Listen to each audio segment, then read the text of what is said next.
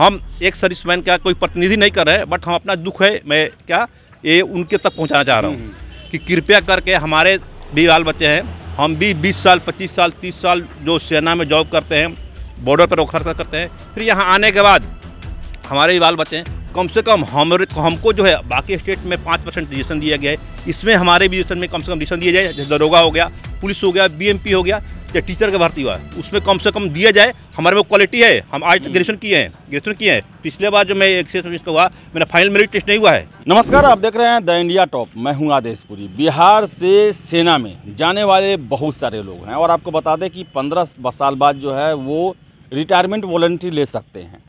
और सभी लोगों का ये इच्छा होता है कि वो अपने राज्य में आकर अपनी सेवाएँ दें।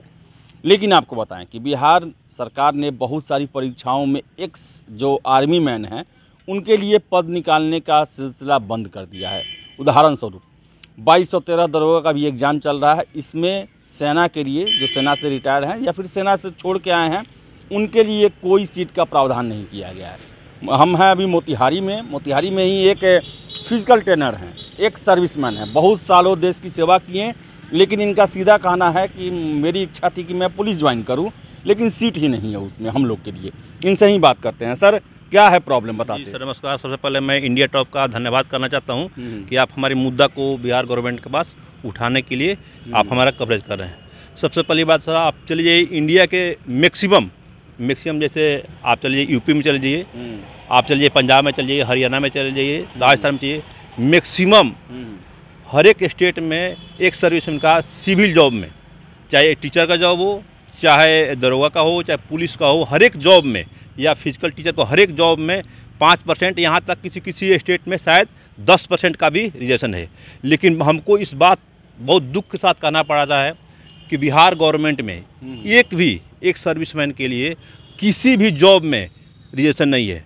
मैं इस बात को दावे के साथ कहता हूँ।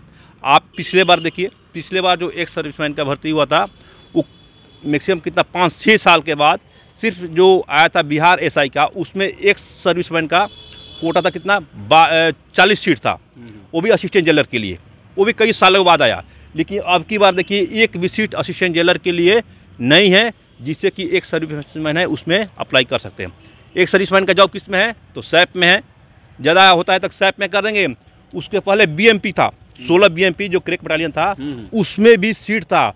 उसमें सीट आए हुए आज कितना? दस साल हो गया। दस साल से आज तक कोई भी सीट उसमें नहीं है जो कि एक सर्विस में जाए उसमें अप्लाई करे और उसमें कोई जॉब कर सके। हम्म, तो हम यहाँ के जितने प्रशासन है या जितने मंत्री माननीय मुख्यमंत्री नीतीश कुमार जी हैं हम्म। हम एक सर्विसमैन का कोई प्रतिनिधि नहीं कर रहे हैं बट हम अपना दुख है मैं क्या ये उनके तक पहुँचाना चाह रहा हूँ।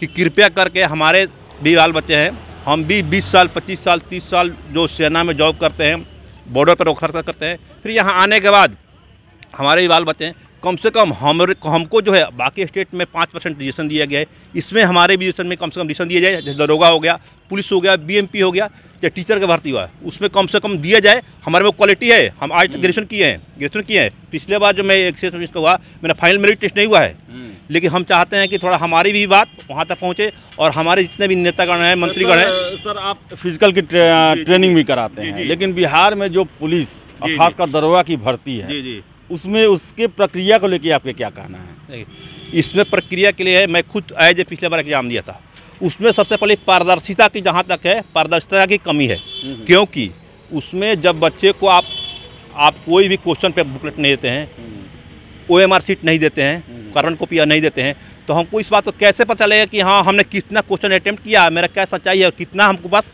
मिलना चाहिए हम्म, इस बात के लिए कि पारदर्शिता होना चाहिए।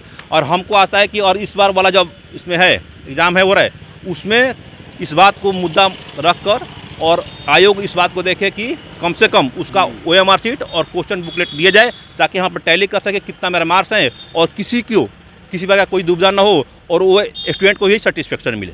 कितना अफसोस लगता है कि यहाँ का व्यवस्था बिहार का आप देखते हैं कि चाहे सिपाही हो उसमें भी क्वेश्चन पेपर नहीं दिया जाता है आंसर सीट नहीं दिया जाता है कट ऑफ़ नहीं बताया जाता है इंडेक्स नहीं बताया जाता है दरोगा में नहीं बताया जाता है।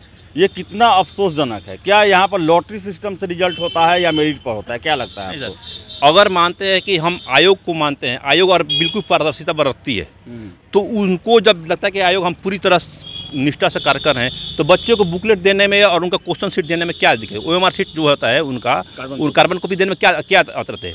बच्चे को सर्टिफिकेशन मिल जाएगा ना कि हम हमारी जो सरकार है हमारे स्टूडेंट हम इतने सालों से पढ़ रहे हैं लिख रहे हैं हमारी जो हम हम वहाँ तक गए हुए हैं हमारे क्या डिमेरिट है जिसकी वजह से हम क्वालिफाई नहीं कर पा रहे और इस मुद्दा को अगर बच्चे को सेटिस्फेक्शन मिल जाए कि हाँ हमारा जो एक्चुअल मेरा मार्क्स कम है इसलिए सेटिस्फेक्शन नहीं हुआ।